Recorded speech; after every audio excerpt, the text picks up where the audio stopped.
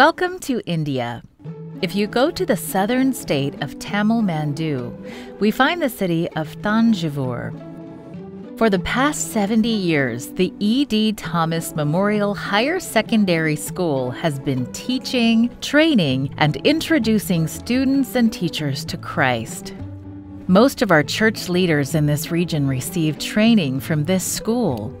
The 2,350 students come from a variety of family backgrounds and religions, all longing to get a good education.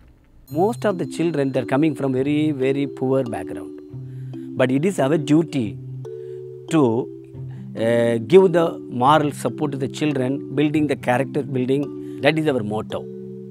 No one to live in this school without education, without God's uh, spiritual power. That's what that is our duty.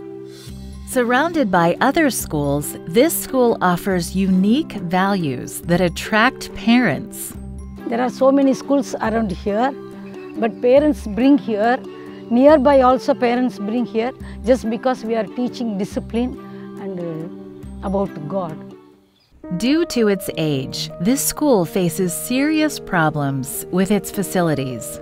The girls uh, hostel it is not secure because the building is very old the government very strictly ordered do not have the asbestos sheet roof because it is affect the children the government very strictly ordered to demolish the oldest building and especially in the asbestos sheet Miralini is one of the students staying in the girls' dorm. Coming to this school was a challenging experience because she needed to travel far from home. Even though she didn't come from an Adventist background, she made good friends in the dorm, learned about God, and excelled in class.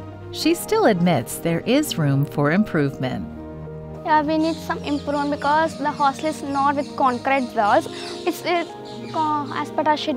In summer days, we're feeling so hard. We have to change this and the toilet is not enough for us. We need some more rooms and some facilities there. This quarter, a portion of your 13th Sabbath offering will help renovate the girls' dorm at E.D. Thomas Memorial Higher Secondary School, providing the students with a safer place to stay.